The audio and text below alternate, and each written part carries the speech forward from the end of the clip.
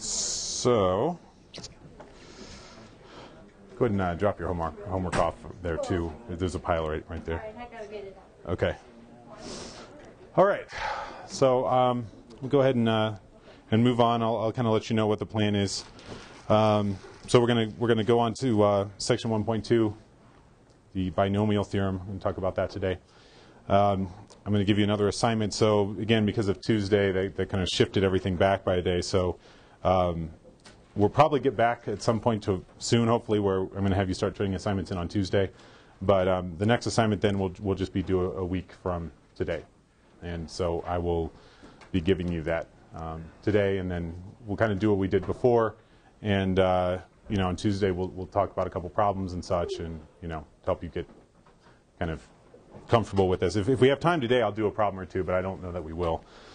So, um, like I said, let's go ahead and get started here. Let's see, maybe this. Okay, yeah, it's just as bad as before. Okay, so as I said, at least we have lines here. This section is called the binomial theorem. You've certainly seen some special cases of this theorem before. If you haven't seen it in full generality, you've, you've seen this before. Um, so, like usual, I'm just going to try to sort of build everything up here from, from the basics. Um, so, we're going to start with a definition. And the book actually defines this in the first section, but I, I just waited till this section because this is when we're really actually going to start using these things. Uh, you've probably all seen this before something called a factorial.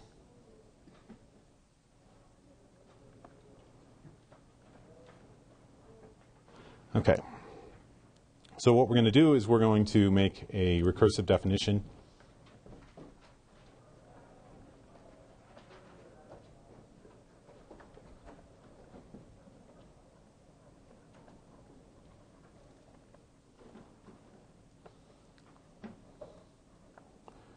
Okay, and remember, I talked about this word recursion. This is sort of the inductive version of a definition. And we're going to do this on uh, the natural numbers. And it's just going to go like this. Um, this may look a little different than what you're used to, but now that we've we've seen induction, this this really is sort of, in some sense, the, the best way to, to make this definition. So one, again, I assume that you've all seen this before. One factorial equals one, and of course I'm going to I'll write down the, the definition here in a second. How many of you have seen this? The exclamation point thing. Okay. Yeah. And then, assuming we've defined n factorial, we define n plus 1 factorial by, okay, n plus 1 times, and I'll, I'll put this in parentheses so there's just no confusion about this, times n factorial. Okay, so n plus 1 factorial is defined to be n plus 1 times n factorial. Okay, and then this, as I said, the symbol n with the exclamation point is not a surprising n. Um, this is read n factorial. Okay.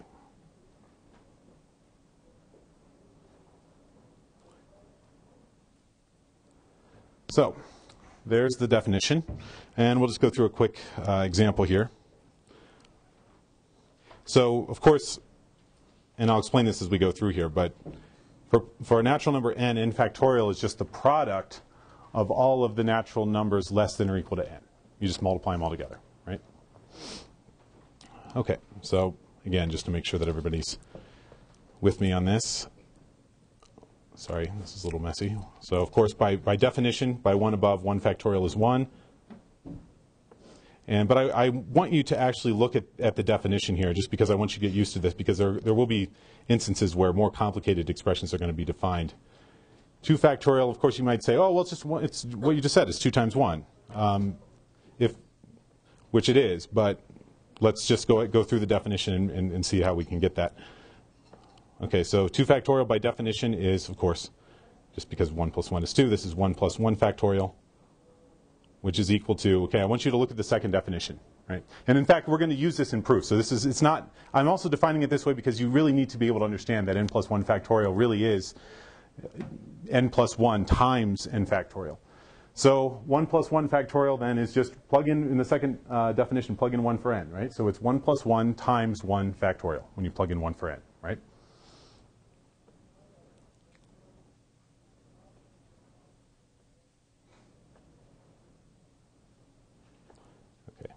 So this, of course, is just 2 times 1.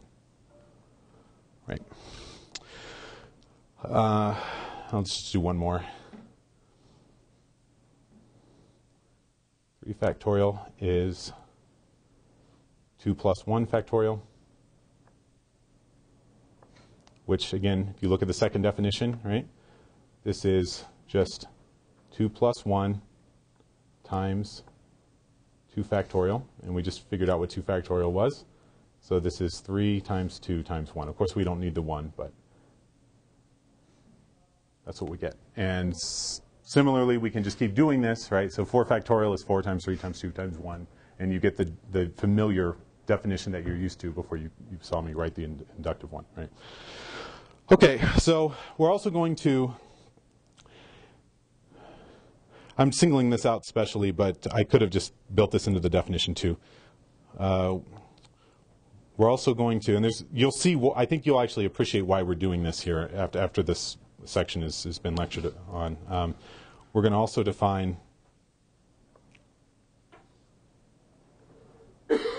zero factorial to be equal to 1. Okay. And this is really just done for convenience so that formulas work out without a bunch of caveats before the theorems and such. So it just makes everything uniform in this way. And again, you'll, you'll appreciate this, I think, once you see the binomial theorem, why we would want to define it this way. Um, okay, so now we're going to look at sort of the main object of, of uh, study here in this section is called uh, binomial coefficients.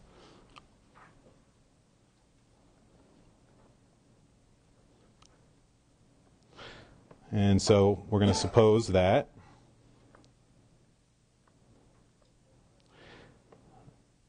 zero is less than or equal to k, which is less than or equal to n. I may suppress this from time to time, but I'll, I'll be clear here. k and n are non-negative integers. They're not just arbitrary real numbers. They're, we're still living in the realm of, of the integers now. Okay, so the inequality, of course, implies that they're both non-negative. So all I really need to say here is that k and n are integers.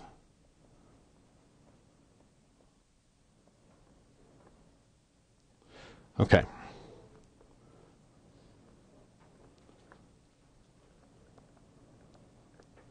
Something called the binomial coefficient. And you may wonder where this terminology is coming from. And you'll see, you'll see here in a, in a minute, once we do the binomial theorem, where this terminology is coming from.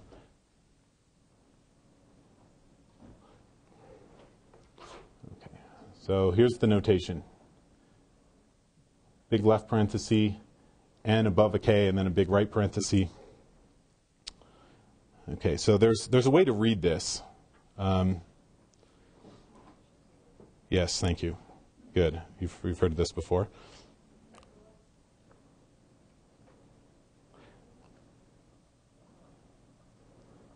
I don't think the author actually says this in the book, which is bizarre, but um, n choose k. This is what everyone else does, except for the author lives in his own world. But um, this is this is read n choose k. There's a, there's actually a reason for this, which I won't go into. Um, but let me uh, in, in, detail, anyways. Um, but let me get this let me get this down first.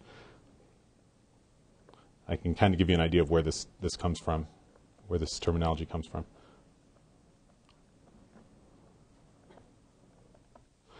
Okay. So n choose k is equal to n factorial in the numerator divided by k factorial times n minus k factorial. Okay, so everybody can see this. Okay, yeah, it's readable, I guess. Um, so let me just say a couple of things about this. First of all, I want you to notice k itself could be zero, right? There's nothing precluding k from being zero, but when we all, you all learned this a long time ago, you can't divide by zero, right? Um, but the definition of zero factorial tells us, whoops, that this denominator is never zero, right? Even if k is zero, this is not zero. And since k is bigger than or equal to n, n minus k is bigger than or equal to zero. So this factorial is defined for n minus k. And it's because k is less than or equal to n. If k was 5 and, and n was 2, right, uh, sorry, so if, if um, yeah, so that works. If k was 5 and n was 2, then you'd have minus 3 factorial, which we haven't defined. So everything still is perfectly well defined given what we did above, right? Um, so where does this n choose k business come, come from? Well, uh, does anybody know this? Do you know where this comes from? Yeah. Joe. It's a probability. You use it when you're um, choosing objects. Right. So this this so the, the best way to say it really is if, if you have a set that has n elements in it, then the number of k element subsets is n choose k. That's that's what this this this is is coming from. Um, so we're not going to go into that aspect of it. We're going to we're going to look at it from a different perspective, which is um, from the point of view of actually of algebra of multiplying out, um, taking powers of a sum of, of, of, two numbers or two variables or two polynomials. It doesn't really matter. Um, but that's the sort of the focus, and that's where this this binomial coefficient comes from. It's going to come from a, from from a, the theorem. The binomial theorem is uh, dealing with how to find um, the coefficients in front of a and b when you're multiplying out, say, a plus b to the 50th. What are the, all the coefficients on the powers of a and b? So that's what we're going to get to here pretty soon. But before I do that, I'll go ahead and do uh, another example, just in case you haven't seen this stuff before, just to make sure everybody's with me. Okay, so.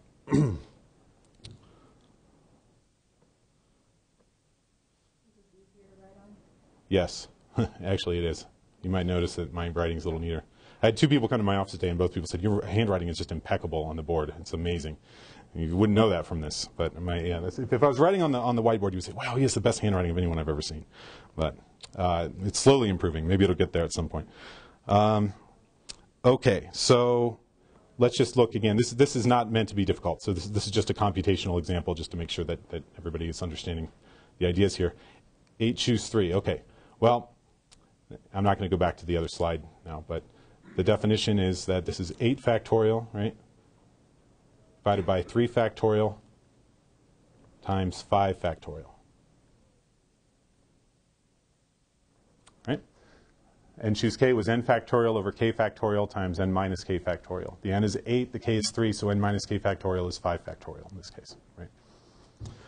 Okay, so let's just uh, write this out. I'm, I'm going to write out more than what we have to, but um, Okay, so this is 8 times 7 times 6 times 5 times 4 times 3 times 2 times 1, right? Oops, sorry. Sorry about that. Okay, 3 times 2 times 1 times 5 times 4 times 3 times 2 times 1. Okay. Easy enough, right? Just using the definition of factorial. Okay, well, what can we do? Certainly we can do that, right? So just canceling. I, am just canceling out 5 times 4 times 3 times 2 times 1 from the top and the bottom. Which, of course, we can do more than that. Right? So we can cancel the 6 and the 3 times 2. And so this just becomes 56. So hopefully that's easy enough. Everybody okay with this? Right? Okay, so now we're going to actually start doing some, some uh, more theoretical calculations here. And I'm, gonna just going to, I'm just going to call this lemma 1. This is called, this is pretty uniform, I think. This is called Pascal's rule.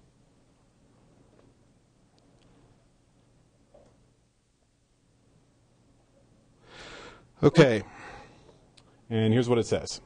This is actually a lot more useful than you might think right now. And in fact, you're going to use this in the exercises quite a bit. So we're going to assume that uh, I'm going to use a little shorthand here. I'm going to leave out a few things. Okay, so I, I should be very clear again on this. Um, these factorials are only defined for non-negative integers. So everything, when I, when I say 1's less than or equal to k, less than or equal to n, I mean that, that k and n are integers. I'm not going to write that out every time, but it's, it's understood that k and n are integers here. Okay. Okay, and so here is the result. So 1 is less than or equal to, equal to k, which is less than or equal to n. Then the result is n choose k plus n choose k minus 1 equals n plus 1 choose k.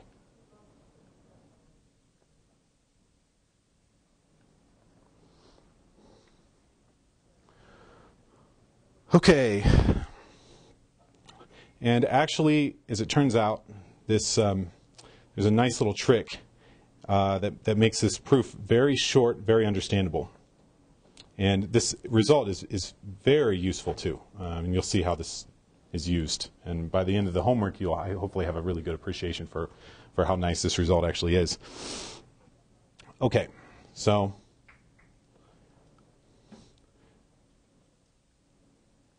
just basic algebra, really.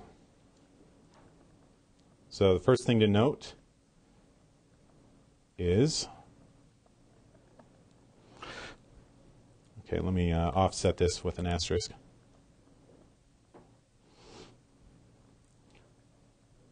Let's take 1 over k and we're going to add 1 over n minus k plus 1. So 1 over k plus 1 over n minus k plus 1. Okay, so you know how to do this, I assume. Um, so this is n minus k plus 1 plus k divided by k times n minus k plus 1. Okay, so what did I do here? Common denominator. That's it. That's all I'm doing. Multiply the top and bottom of the first fraction by n minus k plus 1, multiply the top and bottom of the second by k, right? And that's where this, this numerator comes from. Okay, it's just basic, basic algebra is all this is. Okay, and what is this equal to? Well, you notice that we can cancel the k out on the top, right? So we just have n plus 1 divided by k times n minus k plus 1.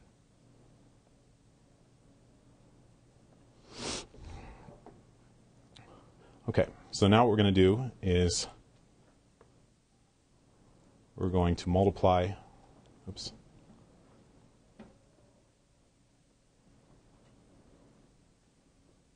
I'm going to multiply both sides of this equation.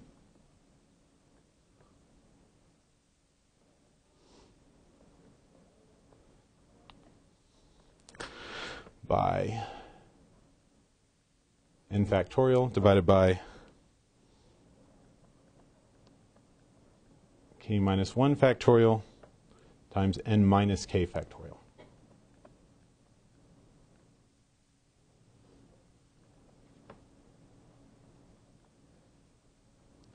Okay. You may wonder where this is coming from. Um, but you'll see, actually, by doing this, that we're going to get the desired equation to fall out very, very well, pretty quickly. I'm going to go through this slowly to make sure I don't lose anybody.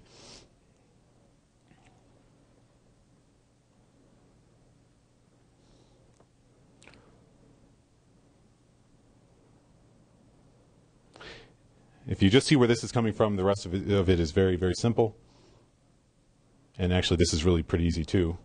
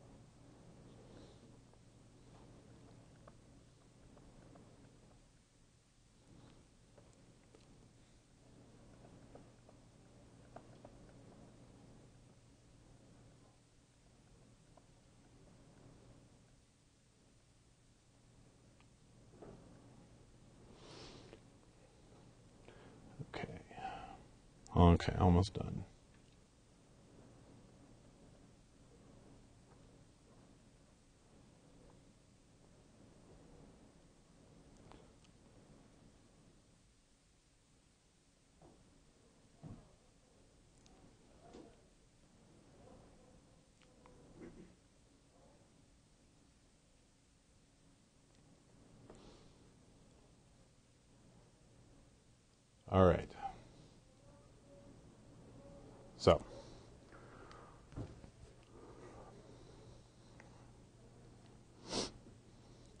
this looks a little bit messy, but um, I want to just remind you that um, this is not anything that's complicated, really.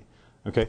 So the equation, the start equation, all I'm doing is multiplying both sides of that. I'm sort of ignoring the middle. Okay? I'm multiplying both sides of it by n factorial over k minus 1 factorial times n minus k factorial. And so if you just look at the first term, right, 1 over k, what do we get when we multiply that first term by this? Well, we get n factorial in the numerator, right? You see that? Just multiply, again, 1 over k times this. So we have n factorial in the numerator. In the bottom, then we have a k, k minus 1 factorial times n minus k factorial. That's where the first term comes from. It's just, again, it's just multiplying it through by, by this guy. That's it. And then the same is true for the other two terms. I've rearranged them slightly just so that you can see where the factorials are going to pop out here in the next step. But that's it. That's all it is. Okay.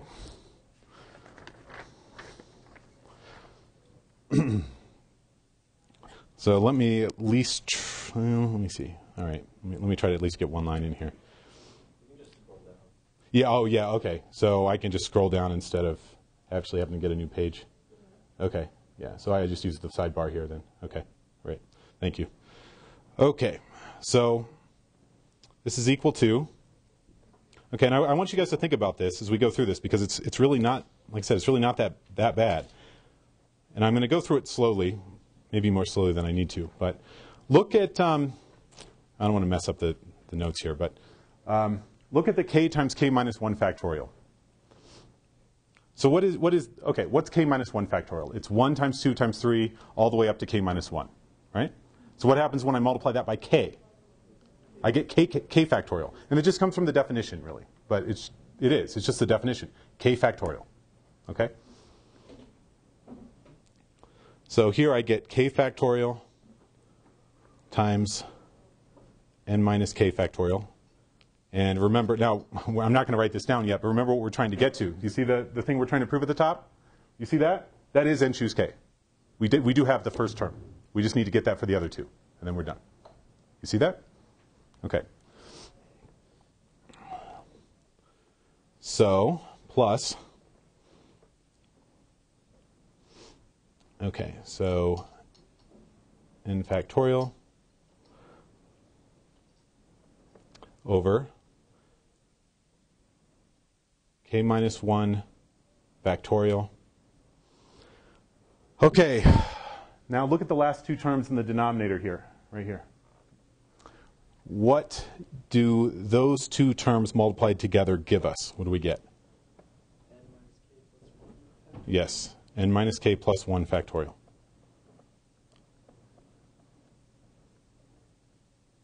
Okay. It's the same reason, right? If there's a, if some of you are getting confused by the terms, just think about what's happening. Look at this. What's the relationship here? Well, this guy is exactly one more than that guy. That's for sure. Right? And this is all the numbers up, all, all, the product of all the positive integers up to it, times the next guy is that guy factorial. That's it. That's all it is. Okay?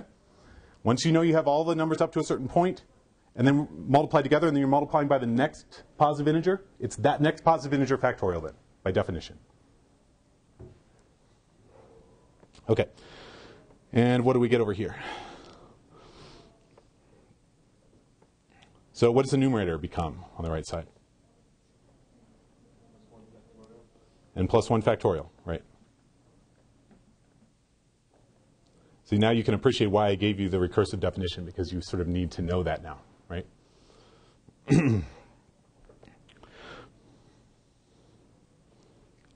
okay, so in the bottom, what can I do uh, when I, if I want to combine these two terms together? What do I get?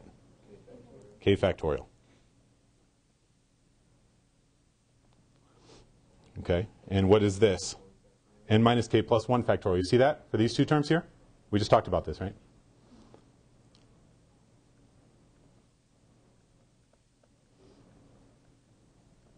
Okay. So, let's see. Okay, sorry.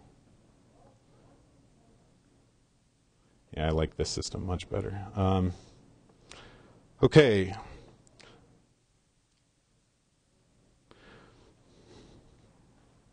I'm just going to change this slightly now.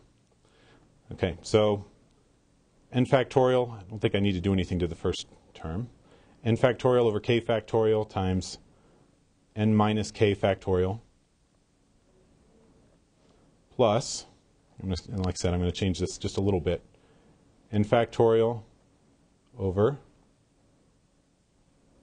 k minus 1 factorial times n minus in parentheses k minus 1 factorial. Let me make this a little bit neater. Okay.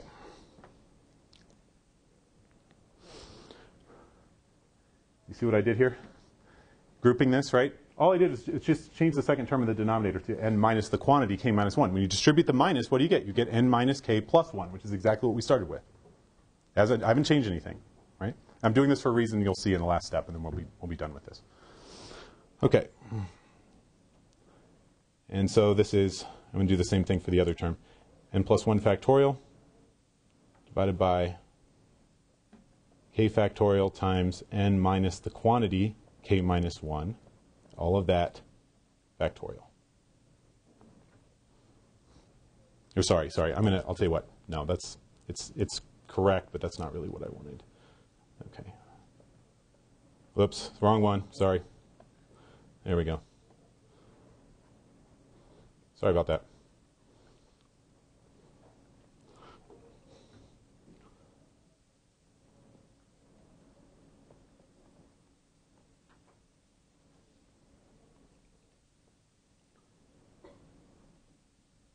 K factorial, and this is just, I really haven't done anything, this is even easier, and plus 1 minus k factorial. Okay. You all believe that these two things are the same in the bottom? Right? I just changed the order. n minus k plus 1 is the same thing as n plus 1 minus k. I mean, there's, there's this is not nothing deep. Okay, so now, uh, again, I think I'll just let you look at your notes for this part, and then we're, we're done now. So remember what the notes said. Okay, y'all believe that? That's n choose k by definition. It's in your notes. n factorial over k factorial times n minus k factorial by definition is n choose k. And here's why I changed the form explicitly so that you can all follow where I'm getting this.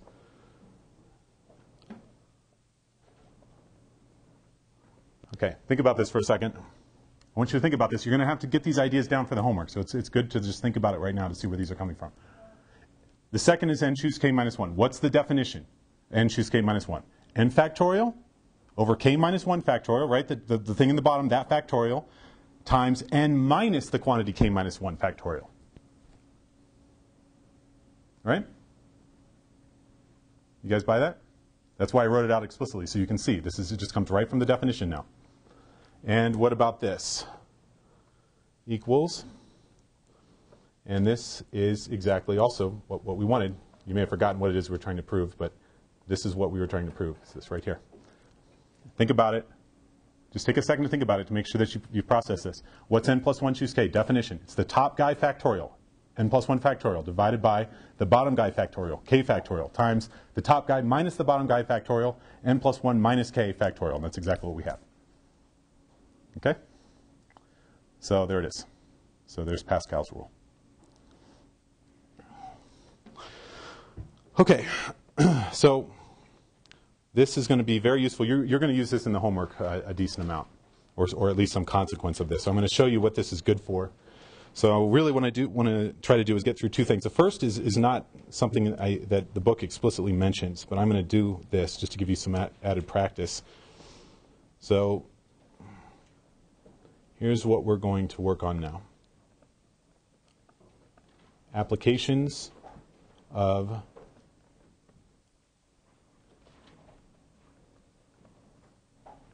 Pascal's rule. Okay. So here's the here's the first corollary.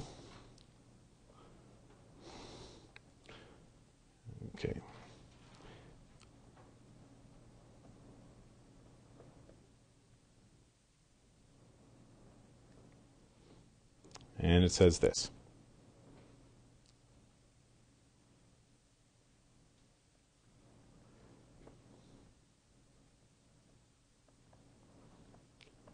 For every non-negative integer n,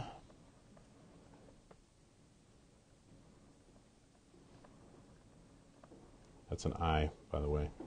Sorry. Okay, and let me let me just put this put an asterisk next to this. If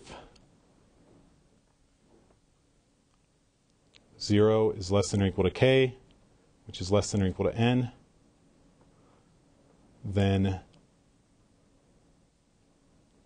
n choose k is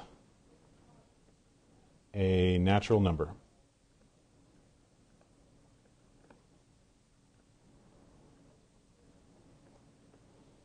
There are uh, various ways that you can prove this. I'm doing it this way because I want to show you that how induction works, and this is kind of has a slightly different flavor to it. So I, I want to do this inductively, um, and this is just, just going to use Pascal's rule. Now I should mention that it's not immediate that n choose k is an integer. You might say, well, of course, of, of course it's a whole number. Well, re- remember how n choose k is defined. n factorial over k factorial times n minus k factorial. Maybe you get 5 ninths. You don't, but it's, it's not immediately obvious that you're going to get a whole number that way. Okay? And it actually, regardless of how you prove this, is going to require a little bit of work. You can't do it in half a line. You can't. You can't. You need a little bit of machinery to do this. Um, so here's how we're going to do it. So we're going to use induction. And I also this is also going to give me another uh, avenue to explain that there's nothing magical about about the number one in terms of starting the induction there. It depends on what it is you're trying to prove. Okay. Um, let me just say this really quickly. Hopefully, I don't run out of time. But suppose you want to prove that something's true, not just not for the positive integers, but say for all the, the non-negative integers. So in other words, we're adding zero now to our set. The same principle still applies, right? If you can show that it, that the statement's true for zero, and if you show that it's true for any non-negative number n, then it's true for n plus 1, then it's true for all non-negative integers. Okay? There's, not, there's nothing magical about the number 1. Okay, if you want to prove something's true for all integers n bigger than or equal to negative 4,000, prove that it's true for negative 4,000. Prove that it's true if it's true for some integer n bigger than or equal to negative 4,000, then it's true for n plus 1. Then it's true for everything bigger than or equal to minus 4,000. There's nothing magical. Just the starting point, and then when you know it's true for something, it's true for the next guy, then all the dominoes fall. That's all you need to know. Okay? So just to be clear, if you ever in your, your life, I don't think that'll happen, but you need to prove something's true for every integer bigger than or equal to minus 4,000. Oh, no, but it's not, it's not a natural number, so I can't use inductive. Yes, you can. It's just that your base step starts at minus 4,000 instead of 1. That's it. Okay? So that's another reason, again, why I wanted to do this, so that you can see that, you know, the scope of induction might be a little bit broader than you may think at first. Okay, so what we're going to do is we're going to use induction, but instead of the natural numbers, we're going to use induction on the non-negative integers. Notice, remember, these two sets are not the same.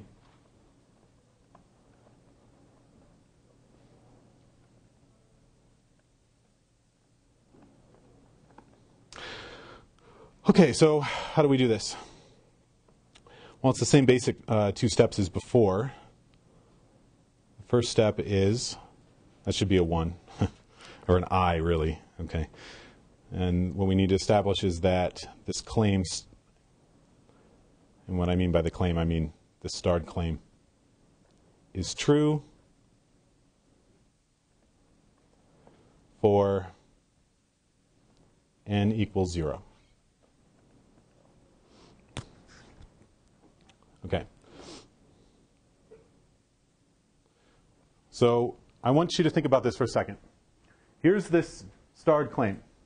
When n is equal to 0, what is it that we are, are claiming? We're claiming that if 0 is less than or equal to k, which is less than or equal to 0, then 0 choose k as a natural number. That's what we're trying to prove. Right? That's what we get when we replace n with 0. you guys with me on this?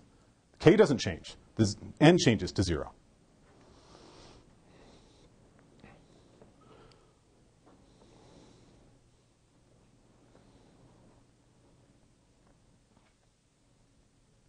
So here's what we have to check. And again, I'm writing it out in gory detail here just to make sure that I don't lose anyone. If 0 less than or equal to k, which is less than or equal to 0, then 0 choose k is a natural number.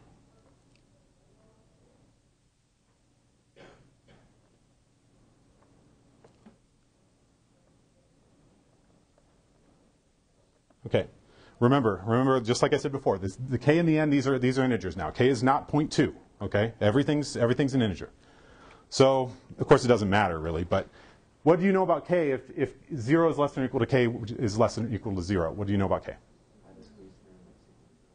Well, you, you don't need the squeeze theorem.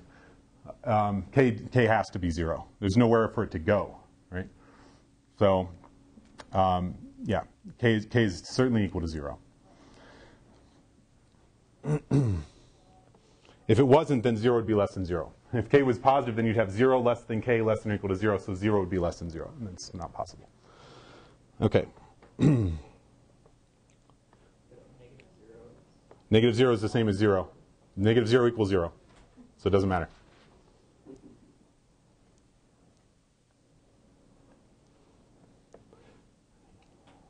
So any such k is necessarily equal to 0.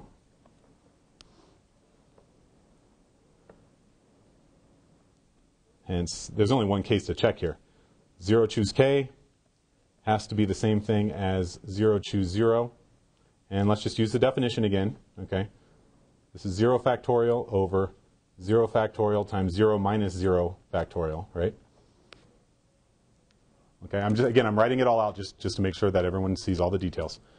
You should be able to do this in your head, but you know, certainly by definition, this is 0 factorial over 0 factorial times 0 factorial.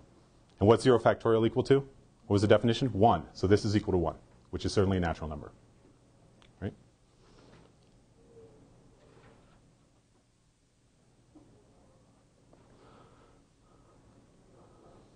Okay, so I'm going to have to go down now. So let me make sure everybody has this first.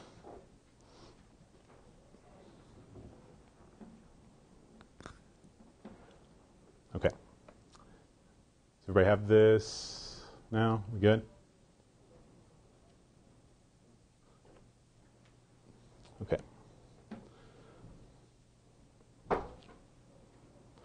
So that's the first part. That was easy enough. The second part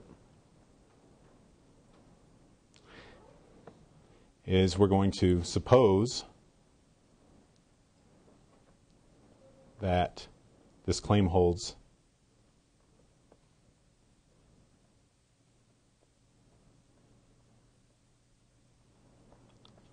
or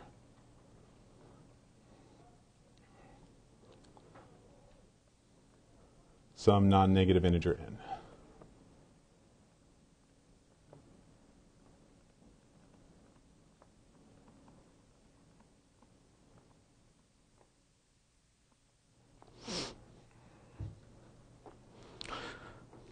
Okay, so what is it that we have to prove?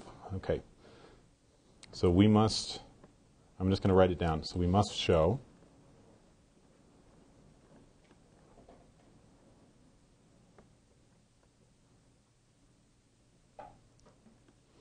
Okay, so you have this in your notes, so you put a star next to it. Um, if k is an integer with 0 less than or equal to k less than or equal to n plus 1, then and plus 1 choose k is a natural number, right?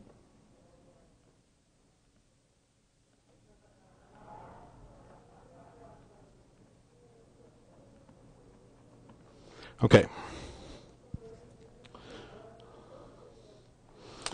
So we're going to look at some cases, and, and I'll, I'll, tell you why we're doing that here in, a, in just a second. For now, I just want you to follow along here. What if k is 0? Can we prove it if k is 0?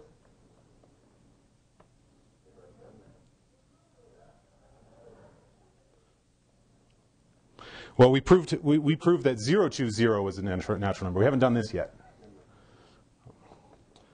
n, choose, uh, n plus 1 choose k is n plus 1 choose 0, right? And what's the definition? This should be n plus 1 factorial over what? What do I want down here? 0 factorial times Right. Okay, do you guys see where I'm getting this? Yeah. No.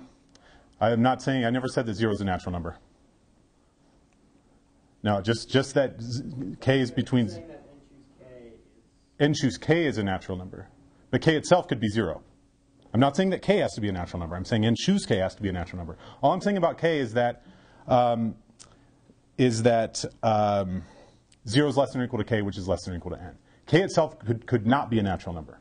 But I'm claiming that n choose k is a natural number. but when you do the specific case of n and k are both 0 hmm you get, But n choose k is 1. There's nothing contradicted here, I assure you. Nothing's contradicted. n and k are not assumed to be natural numbers, they're assumed to be non negative integers. And choose k is claimed to be a natural number. Okay? That's a good question, but it's, it's yeah, it's that the, the, the choose, the, the binomial coefficient is a natural number. n and k don't necessarily have to be. Is everybody clear on this point? Okay. So, what is this equal to? This is pretty easy, right? What's, what's it equal to? 1. So that, that case was easy. What about this case? Case 2.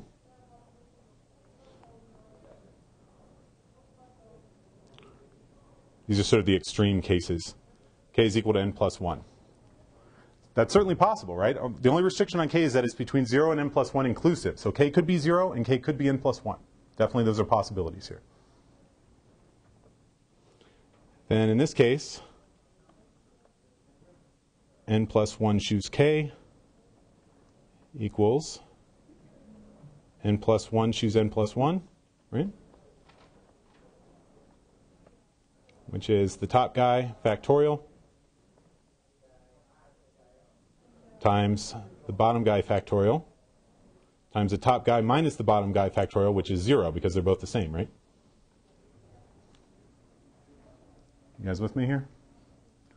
And what is this equal to? Well, it's, it's the same thing as before, right? It's equal to 1.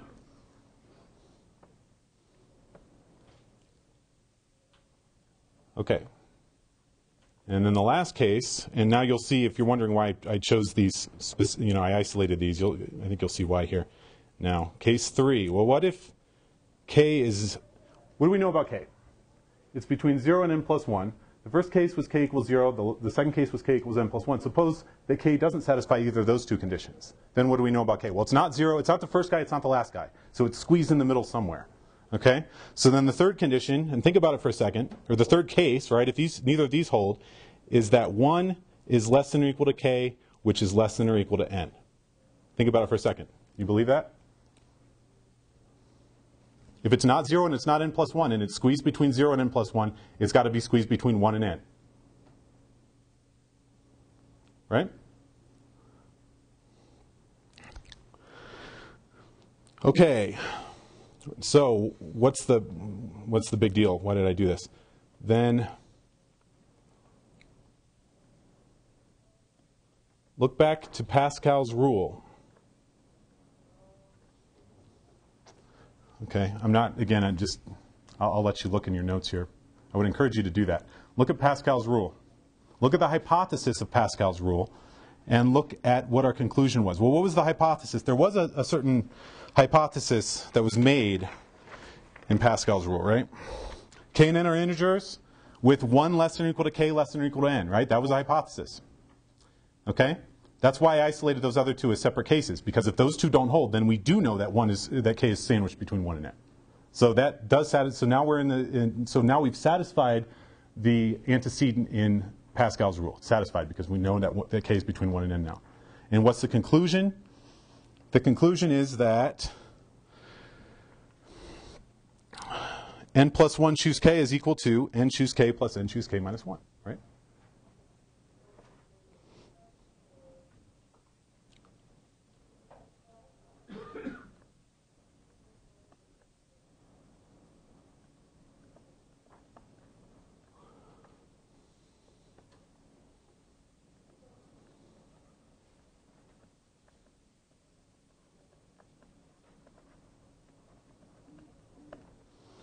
Okay, now, now you might say, and this is, this is a, a point I, I, really want to be clear on, and this is an, another reason why I did this problem. We're going to use the inductive hypothesis now. So we're assuming, okay, now I'm going to, I'll wait till you copy this down, but uh, I'm going to, I'm going to go back up here for a second.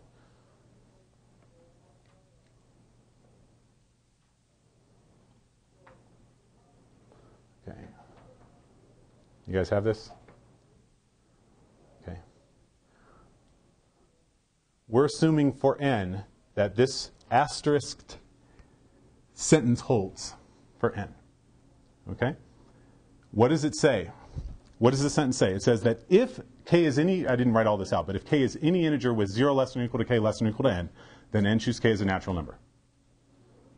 That's what this is saying. And we are assuming that for our inductive hypothesis. That is true for n. It's not, and that doesn't just say one k works. It says any k between 0 and n works. Okay? That's the thing that you have to remember. We're not using strong induction here. That's what a lot of you are going to think, oh, strong induction because there's a k and a k minus 1. We have to use strong induction. No, we don't. We do not need strong induction. So what do we have? What do we have over here? Okay, so this is assumed. That's the inductive hypothesis. So we know for sure because certainly since 1 is less than or equal to k, which is less than or equal to n, certainly 0 is less than or equal to k, which is less than or equal to n. That's certainly true. So by the inductive hypothesis, n choose k is a natural number. Okay? So this guy right here is a natural number. What can we say about k minus 1? Here's my question. I'll write it all this down, but I want you to think about it for a second. 1 is less than or equal to k, which is less than or equal to n. So what can you say about k minus 1? 0 is less than or equal to k minus 1, which is less than or equal to n minus 1, which is less than or equal to n. So my point is that 0 is less than or equal to k minus 1, which is less than or equal to n. That's certainly true. So just subtract 1 off every, everywhere in this inequality. 0 is less than or equal to k minus 1, which is less than or equal to n minus 1, which is less than or equal to n. So 0 is less than or equal to k minus 1, which is less than or equal to n. By the inductive hypothesis up here, therefore n choose k minus 1 is also a natural number. The sum of two natural numbers is natural, therefore n plus 1 choose k is a natural number. There's the proof.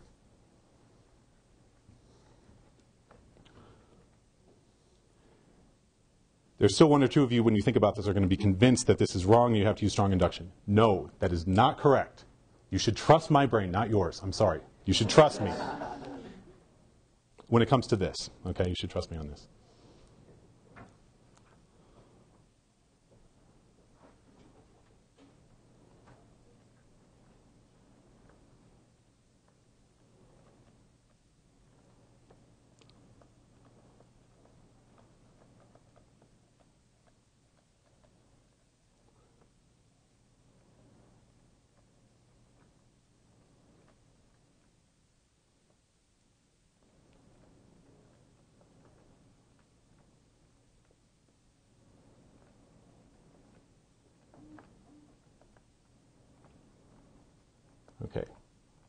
So these are natural numbers by the inductive hypothesis.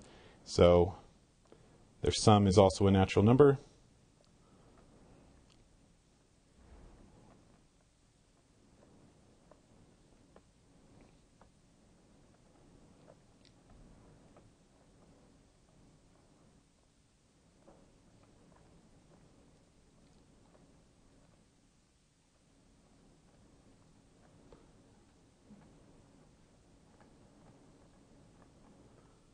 So therefore, since it's a sum of two natural numbers,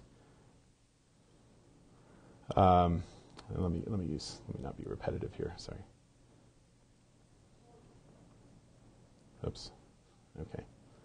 That's all right.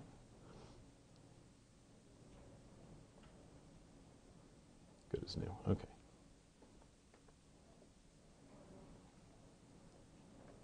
Use whence instead of hence. Okay.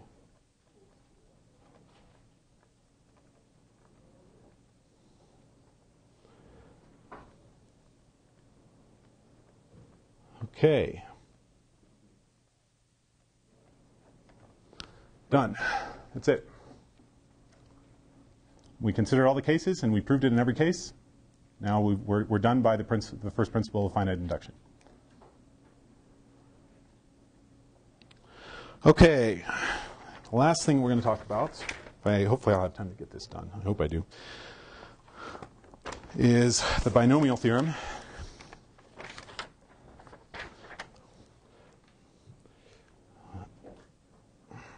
Okay, so I'm just going to go, I'm going to sort of just change gears because I want to try to get this done. Uh,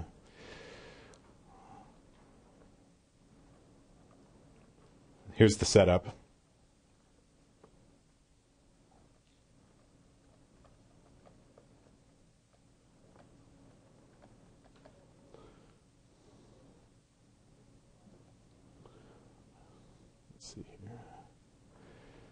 I can just squeeze it in over here. Okay.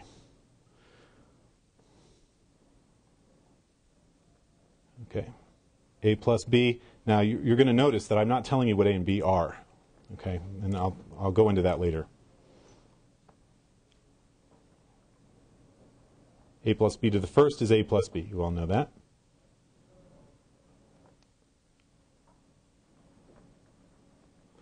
A plus B squared you learned this a while ago. Right?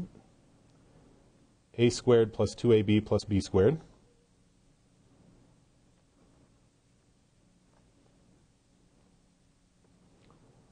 And let me go over here.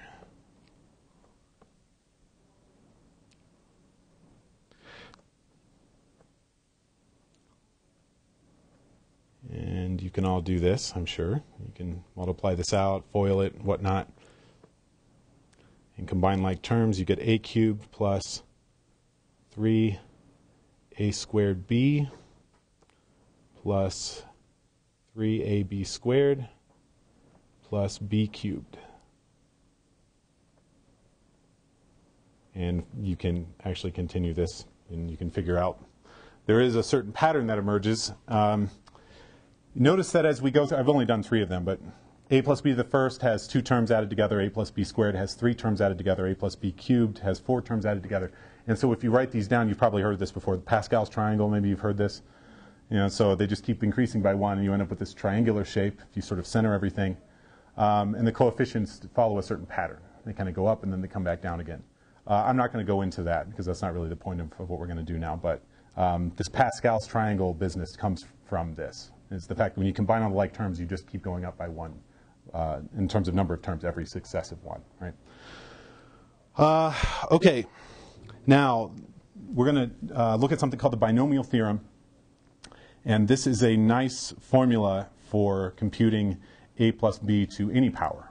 It involves factorials, and um, I'm going to go through the proof of this is actually not very long. I'm going to try to get through that. If I don't, we'll finish it up on Tuesday. Okay, so I guess I'm going to need another page here. Okay, so let me go ahead and state this. And I'm going to go ahead and call this, I think I, I, I called the previous result corollary 1, I think, didn't I? I think I did. Maybe I didn't. I did? Mm-hmm. Yes? Okay. So this is kind of too big of a theorem to be called a corollary, but really, in some sense, it really is just a corollary of, of this um, um, this principle, this this Pascal's um, principle that we that we saw before. Okay, and it just says this. So again, just to be clear, this this is called the binomial theorem.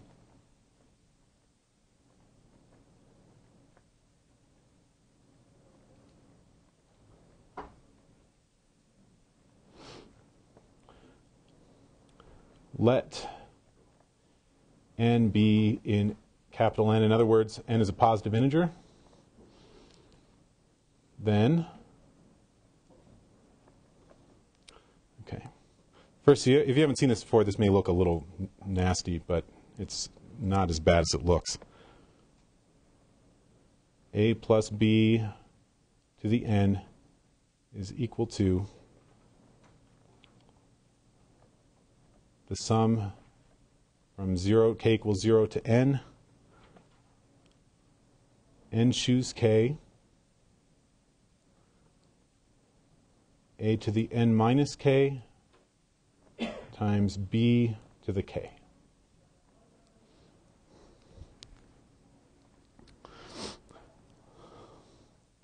Okay. Now, just I, I, think you've all seen this at some point in calculus, for example, when you're dealing with series, you certainly saw this, the sigma, right, sign before. I'm, I'm hoping you've all seen this sign before and know what this is. But in case you don't, it's very, it's not very difficult to explain.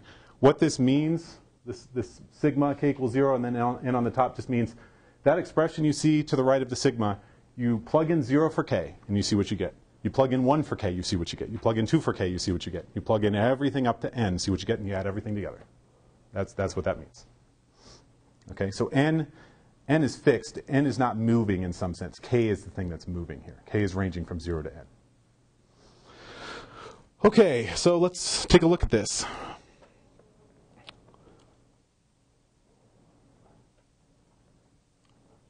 Okay, I'll see how far I get on this. If I get caught in the middle of this. Uh, well, I may finish it next time, or I may just go and do a couple of problems next time. I'll, I'll just have to see how much I have left to do.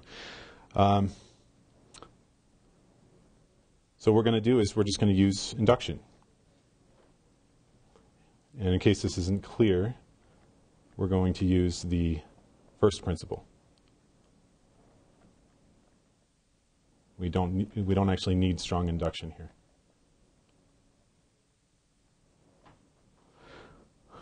So what is the first thing that we have to prove? So there, there, are two things that we need to show, right? We must, the first, the base case,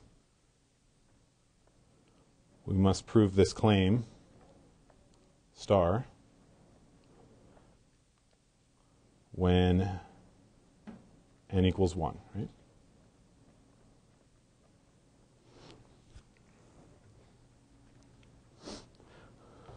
Okay, that's the base part now. Remember, now we're, we're proving something for all natural numbers. Um, so we're trying to prove this is true for all natural numbers. Not zero is not a natural number, so we're not using including zero in this case. Okay, so it's just we're going to start with n equals one. Okay, so what is what is the claim when n equals one? Well, just to save time, I'm not going to write this out. Let's just let's just do it. It's it's not very hard. When n equals one, I'm going to start on the right side for now. Okay, I think it's easier just to do it this way. On the right side, when n equals 1, right, it's just the sum from k equals 0 to 1. We're just replacing n with 1 now. Okay? And I'm just going to show you that we get the left-hand side in this case. 1 choose k, a to the 1 minus k times b to the k. Right? Do you all buy that? That's what we get on the right side when n equals 1.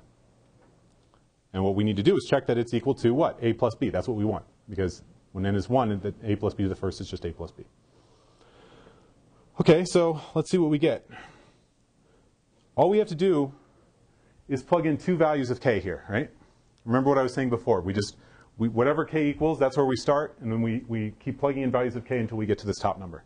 And the top number is 1, so it's just k equals 0 and k equals 1. We're just plugging those two numbers in for k, adding them up, we should get a plus b. Okay, so what happens when we plug in 0? So this is 1 choose 0, a to the 1 minus 0 times b to the 0. Okay, now might be a good time to say something about a and b. A and b can be, um, they don't have to be natural numbers. A and b can be real numbers. They can actually be even more than that. They could be polynomials in general, if any of you have taken abstract algebra, A and B can just be any elements of a commutative ring. That's it. If you don't know what I'm talking about, it doesn't matter. Um, this theorem holds in general in a very more, more general setting than what you're used to if you haven't taken abstract algebra. That's why I didn't say what A and B were. They don't have to be numbers. They don't have to be polynomials. They, they could be all sorts of weird things. Um, okay, so what do we get? Okay, I'll probably go through this a little more quickly than, than I did before. What's, what's 1 choose 0? 1. What's a to the 1 minus 0? What's b to the 0? So you buy that? Okay? Uh, sorry, sorry. I didn't, I didn't, uh, so let me put this parenthetically now. Equals A. This isn't actually what this is equal to. It's this plus the next guy, right? Okay. Which is just, we're plugging in now 1 for k, right? 1 choose 1. A to the 1 minus 1 times b to the first. And what's this equal to? The end result is 16. Right. And then so we get a plus b, which is which is a plus b to the first, and which is what we wanted, right?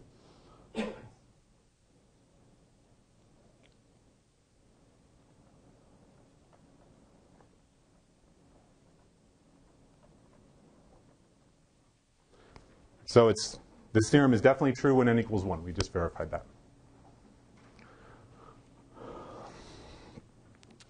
Second part. And this is a little trickier. It's just going to use Pascal's rule again, though. We're going to assume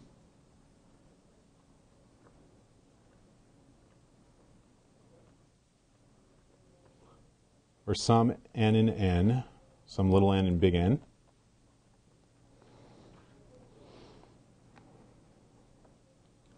that and again, I'm just going to use the same notation as I used before. We'll just put an asterisk next to this. a plus b to the n is equal to the sum from k, uh, k equals 0 to n, and choose k, a to the n minus k times b to the k.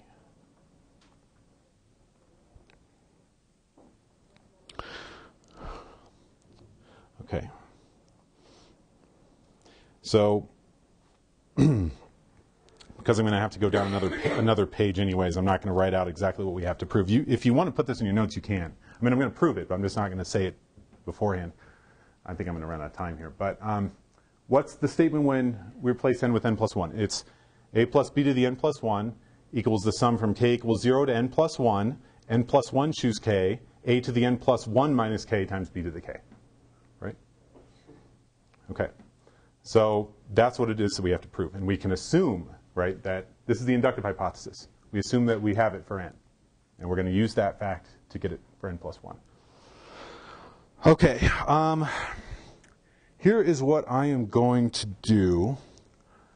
Uh, because I, this this part is just a little bit technical, and I and I don't want to get stuck in the middle of this. Actually, I'd, I'd rather just do this in one class period, because otherwise I'm going to have to do it again anyways to refresh your memory on Tuesday. So I'm going to just stop. I think at this point, what I'm going to do is I'm going to give you uh, homework assignment for this section.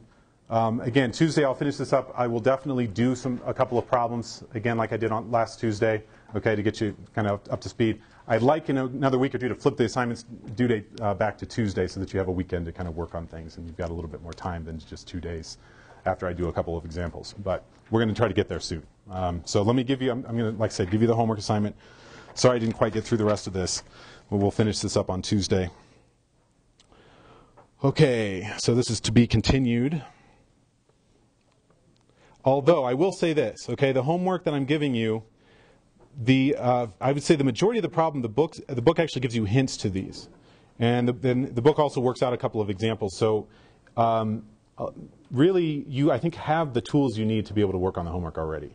Um, some of this is going to involve induction again, um, but you're just going to assume the binomial theorem is true, and then just kind of work through uh, the homework, just just pretending that you that you know what's going on. Um, okay, so here's the homework: 3a, 3c or C. Um, 5A, 5B, and 5C. Okay. Could have given you a lot more than this, but um, that is all that you have to, to turn in for next Thursday. And um, if anyone, I, I don't think anyone came in that late, but if anyone did and didn't turn their homework in, definitely get that in before you, before you leave. Um, so I think that's all I wanted to say. So, all right, well, have a good